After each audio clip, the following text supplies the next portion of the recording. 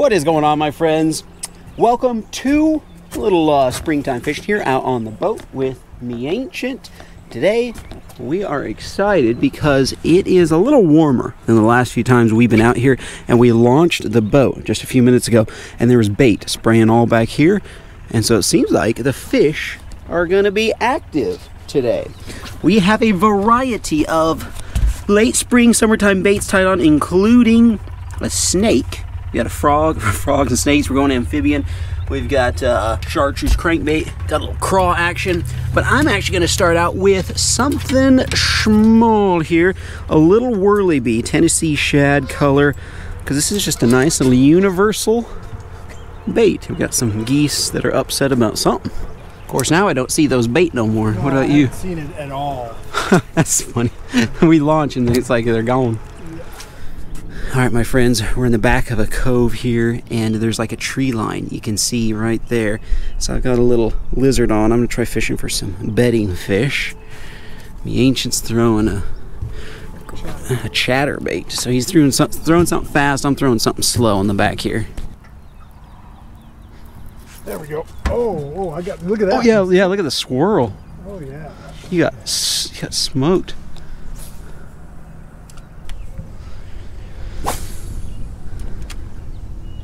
Oh, got him right in the Nice. shallow Shallow. stuff. Oh, Yeah, cool. on a lizard. I haven't caught a lizard fish in a long time. That tells us a little something. He was. They're definitely spawning two bites. Oh, look, that's a skinny one. That's either a male or a spawned out female. It's called a cotton candy lizard. If that's, if you can believe it. Ooh, that's skinny. You know, Pops, you scared a fish on that cast, and I, for, I thought that was probably just a carp, but it may have been a bass. There might even be a big female up there if this isn't the female. By the way, guys, check out the Ace Videos wristbands. Link in the description. Level up in real life on that side, and then the Ace logo on that side. And they are embossed and painted. They're the best ones that you can get. Using a cotton candy colored lizard. The reason why I went for this one as opposed to like a green pumpkin or something like that, which is kind of normally my go-to, is uh, I mean, look how got kind of a chartreuse tail and a purple body. So I figured it would stand out better in this real dark, dirty water back here. The main lake isn't dirty at all, but well, it's stained, I guess. But back here, it is brown. I don't know if that that might have just been a stick. I had to set the hook.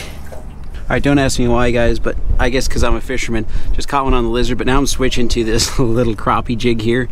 It has a little bit of purple in it too, like a purple tail. I actually got it as a sample pack. Got it for free, so I'm gonna try this. I feel like with You're not gonna catch anything on that. yeah, I feel like with a crappie jig though, if there's a catfish or something wandering around back here, they like the crappie jig, or if they're actual crappie or big bluegill or something. That chatterbait does look supreme, I have to say. Especially here in this mud. Uh huh. Yeah, it, there's so much ruckus and vibration it gives off. Fish on. Nice. Right by that, by that post. I drug it right in front of the post. You're using chatterbait. Yes, sir. Sweet. Oh yeah. All right. It's a pretty one. Mm-hmm. Come here, baby. There we go. Nice. I just got the that chatterbait. Nice. Check out the old chatterbait. I like that color. Yeah, I got. I like. I just put that trailer on. Got a brand new love it. trailer for them. Get a little great. boot Nice. down there. Sweet, nice job, pops. Two. Each have the skunk out of the boat. Yes, sir. I got one Nice. on that little tiny swim bait that you said I wasn't going to catch anything on. I don't even know what this is. Need a net? Oh, it's. Uh, I don't. Still don't know what it is. It's just a bass. Just a beautiful bass. Head that has like a sheen to it. Look at it. It's like. It's cool. Like it has this iridescent color. Nice. Look at that. Look at the. Why is that bass so shiny? That's why I thought it was like, is this a trout or something? On that little ugly swim bait that I got in a sample pack. Yeah, it's just like, just a beautiful color to it. Nice. Oh, yeah. Oh, it has a rough spot on his tongue. I thought that sort of looks like a spotted bass. Yeah, he is a spotted bass. You know what, guys? There's no uh, size regulations on these. Just in case we don't like catch anything else, I'm actually going to put him in the live well. There we go.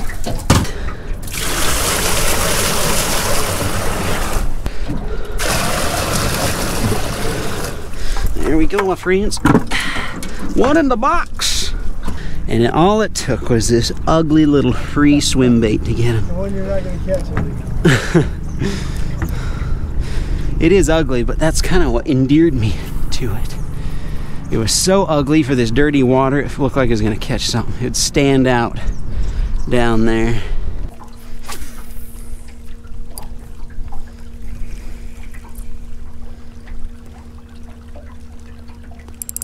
Got him right against the shore. Oh, he threw it. Got? He got off. Went straight for the surface. I have a jig head on. Oh man, he was right. Oh, look at there. Did you see this? A fish just came up. It looked like a bass. Huh. Got him. Uh huh. Well, pardon me. I got a good one. You do. I got a good fish, guys, on a crappie jig. That's why I'm using a crappie jig, folks. Now, this is a light setup, so the peel and drag, you know, doesn't mean it's a an eight pounder or something. Oh my God. I don't know why I said eight pounder. It's not like I've even gotten close to an eight pounder, but like a four pounder. But you never know. I'll get the net. Yes, please. Yes, yes. What is this? Oh, it's a big drum. Oh. It's a big old drum. Yes. Sweet. Thank you, Pops, for netting. Red meat Yes. drum. Yes, that's right. Wow. These are tasty. I can't believe that tiny little bait's getting. Wow. That is all I'm using right there, folks. And it's the only one I have. That's why I like using crappie jigs, you just catch a variety. Alright, you can join the spotted bass. Be- They can be pals. Everyone needs a friend, you know, just a happy little friend.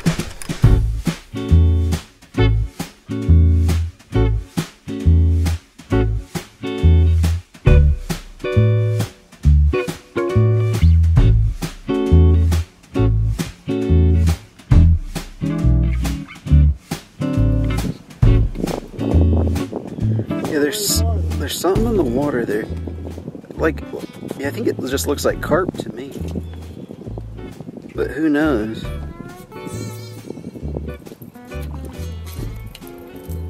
Oh, there are other fish there, though. I think we need to fish this thoroughly. Yeah. You have a huge carp. Oh my gosh, Yeah, it's big- a black carp. It's like a black buffalo, or it's a weird looking carp. It's like he doesn't even know he's hooked. Let's see if we can scoop before he becomes fully aware of what's going on. He, he's not fighting too much. Yeah, he's not fighting right, I think, because he doesn't realize what's happening. Get him close. Get him close. Before he absolutely makes a run, because he is massive. I can't see him. Okay, there. I'm just scooping real generous. That was great. now he knows. Now he knows he's hooked. I got him. Nice job. I got him. Oh, that is a heavy What? fish. What is kind of carp is this? He's black. Or is it just do they get this way during spawning season? That might be the family best carp That right is a there. big carp. oh my. Well, that is some kind of fish here. Wow, pops! I think that is the family best. I don't ever remember I don't catching know. a carp that big. Uh huh. We've caught some nice, you know, like five to ten pounders, and I think that is way bigger than five to ten. wow. Should we see? Just Can we see how long he is, or just let go? Yeah. Okay. Quick release, then we'll go back to his buddy or her buddy. that was the most docile fish in the world. I don't think that has ever happened where like a fish is just like, hold me. Like what? That was crazy. Like it did not flop at all. It had a couple little kicks and that was it. Wow. Oh, there's a gar.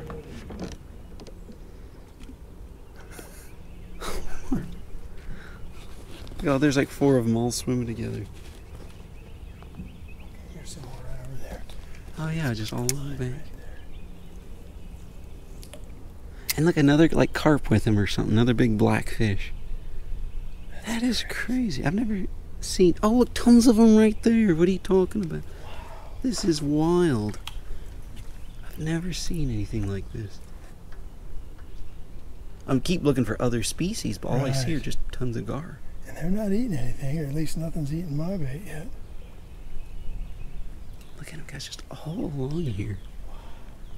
That's cool. Look at all of them. They just come over the logs. Well, if you ever wanted to eat some gar, Yeah, this would be the place. this to would be the place to come. Wow. Well, that was cool. Should we go on to our other spot? we should.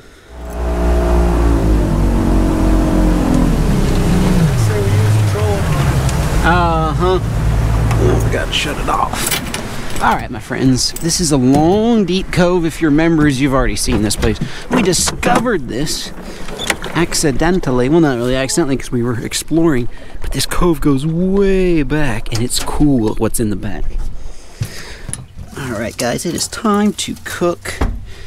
Um, one of the reasons why we have a stone in here is so we can easily kill the fish. In fact, we have everything we need in here for cooking right on the boat. Ooh, big old boil right here. Ooh, I got a fish. Oh, All right, guys, my dad. oh. You got a crappie. No way. That was on one of those toughies. There you go. It's not a keeper. Not a keeper, but, uh, first crappie. I was getting set up for uh, for filleting the fish. If you catch a keeper while I'm filleting it, you can just stick him right on the cutting board Yes, sir. I'll and do it.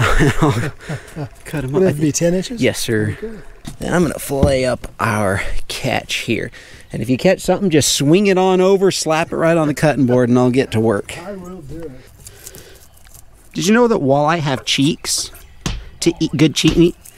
Uh, my my comment section lit up with everybody talking about the cheek meat on walleye and how we missed it. So we'll know for next time. Yeah, I'm gonna take all these guts and stuff and throw it out there. Maybe that'll attract something around the bobber, you know. Was that a fish that jumped right there? Oh, that's crazy. All right, pops, I've got the carcass. Hopefully, this will uh, get the attractant, all those juices going in the water. Yeah, bring a catfish from the from the main river. If he's if he's cruising around here, it'll bring him right around.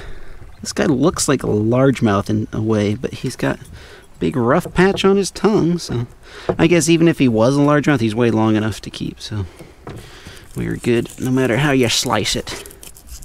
Get it? Pun intended. Right, if I do say so myself, that is an amazing boneless fillet right there. This bass had nothing in its stomach. Look at that beautiful fillet, boneless. The cutting board goes back. I've had that for a long time. Clean off my knife good. All right, time to get the cook set up. Rolling. Ah, perfect. And it's R2. Ooh, he's saucy. Saucy this evening. Yeah, settle down, bro. Maybe he's, maybe he got overheated. All right, guys, the Ace Videos backpack, link in the description below, comes in four colors. It holds a lot. I have red beans and rice, blackened seasoning, corn, salt, of course, we always need salt, and mixed greens. I'm kind of going for a little southern style platter this time. Last time we did a Chick fil A themed. You guys watched that episode, that was super fun. That's all it takes. Wow. All right. Oops. Probably should have done this first. Pops, do you have a a can opener for a can? You ever run one of these things? Uh, not really. You can learn how I did. Okay. All right. So I got my dad's dog tags from back in the day, and they always gave the guys John Wayne. How hard can it be? That's what I always say. Oh, it's going to be a little slow though. For me, anyway. You could do it real fast. Ah, thank you. Yeah, we just won't show this part where you open all the cans so that we're not here till Right. dark. No, yeah. We'll take the red beans and rice and just pour them straight in there. That's why I got canned food. Keep it nice and simple, as simple as you can out on the boat. I mean, here I am cooking on a boat, but as far as I'm not making like red beans and rice from scratch. Mm, they smell good. I don't know about you, Pops, but I am very, very hungry. I am. Yes. What is it about being out in the sun and fishing just makes you ravenous? Ah, thank you. Yeah, that'd have taken me about 12 minutes to do. All right, beans and greens going in, at least partial can. I think, I think that should be good enough right there. Got some of these plastic cups for this because a lot of this stuff is kind of watery. So I'm not going to lay it all right on the platter. I'm actually going to put them in these. Serving up. Red beans and rice coming in hot. That smells so good. It does smell good. It's a little dangerous cooking on the edge of the boat, folks. Put that right there. Cream corn. All this is just heat up. Yeah, a little shake of salt. Will won't hurt anybody. Alright, order up. Give me a garden and hold the tomatoes or whatever that diner talk. You know diner talk, don't you? You worked No. I worked in the cafeteria. Oh, cafeteria. Oh, okay, No, that right. was that was upscale, first class. No, that was Fish on. fish on. What is it? Um, another crappie. Just Another crappie? Big enough, but he got on that little toughy minnow. Oh. A little bigger though. Uh huh. Oh, guys, look at that. We're getting there. Yeah, we're getting there. nice catch, though. All right. My stomach just growled. All right, my friends, the three sides of the platter are done. I'm actually going to leave the cream corn in there. That'll add a nice flavor. And then I'm going to grab butter, the world's greatest vegetable. All right, my friends, time for the final part of the show here. The fillets of spotted bass. We're gonna do black and seas. It's been a long time since I've used this, and this used to be a um, staple of my channel, the Cajun Louisiana Kitchen. When I was trying to think of a southern recipe, I thought, you know what? I love the black and Cajun stuff, and I haven't used this in such a long time. It is delish. It is smelling good. You know, I was just thinking about the smell. Actually, I was like, you know, technically a bear could just appear right there and like smell our food. We're just anchored right along the shore. Well, we'd be diving into the water. Actually, I'd probably, I'd probably throw it up on land. It depends how aggressive he was acting. If he was acting like he wanted, I would just toss it all up on land, pan and all. All right, my friends. Oh, look at the blackened job there. That is exactly, that is exactly what I was hoping for. There's a really a snake over there. Oh yeah, you. He smells the food. He's coming right over here for it. If he does, we should nab him. You know I have that snake grabber. Uh huh. I think it's under this seat. I bought one in case we wanted to catch a water moccasin or a um, or a copperhead. Oh, look at this platter, guys! Look at this platter. Fish, beans, and rice, and corn and greens. Guys, do you see the snake right there? Look at him. What kind is? He's coming right toward us. He smells the food. He does. If he comes this pops underneath that seat, or like, is like a fish grabber, or not a fish grabber, a snake grabber. This lovely southern inspired platter brought him in. Look at that. Where is he? Did he take off? Oh man, he was just in time for dinner. I'll be eating some of that. Oh look there! Oh, his head just popped. Oh, oh shoot! Hey, come back for dinner. Make him into dinner. Pops, Oh my. if you would help me hold up this Oh, you huge know fish it. platter. Let's see. Here. Yeah, probably turn it around. Oh, Sweet. All right. I don't know. Hungry. Me too. Would you like to pray for us? Sure. Lord God in heaven, thank you for a great day out in the water with Asa today. I just ask that you would bless this food to our bodies now, and um, just thank you for the day we had together we could enjoy. In Christ's name, amen. Amen. All right, so on this side is the drum, on that side is a spotted bass. You want me to wait for you, or do we just dig in? We just dig in. Man, I'm gonna have some bass first. No, I'm gonna have some bass too. I'm actually most curious because we had drum a few weeks ago. Mm-hmm. Cheers. This might be the first time I've eaten spotted bass. Actually, I can't remember the last time I, if I ever ate one. Wow. Mm. Um, that's good. That, that seasoning you have on it is That one- That is really good. yeah, Like, dang, that's good. Maybe because we're hungry. But wow, that was it is good. unexpectedly. Though. No, it, it's I would say out of largemouth and smallmouth and spotted bass, uh, that spotted. spotted it reigns supreme. Very interesting that the spotted bass is that delicious. You know, let's try the drum real quick. Maybe I'm. I'll hold it. Wow. I mean, seriously, look at that. Goodness gracious. It's like a piece of pork. Wow. Good blackened piece. That was crazy how how firm that meat is. Mm-hmm. That I think out of all the fish I've ever eaten in my life, drum might be the like steakiest one Mm-hmm. ever. Yeah, it, it's you actually have to cut it with a knife, Yeah. but the flavor is great. Must be because we're just starving, or but this meal is epic. I mean, absolutely epic. I love the greens and the corn. That's a Mm-hmm. fun. But this spotted bass, dadgummit. And even the rice and beans Mm-hmm. are good too. Spotted bass for the win, guys. I've I've been just catching and releasing spotted bass since we moved here. I think we're gonna have to keep more of those from now on because those are phenomenal. So Wow. unless something happens with these bobbers in the last minute here, thank you guys so much for hanging out. Hope you guys enjoyed. Check out my chan- my dad's channel down in the description. Please do. We'll see you in the next one.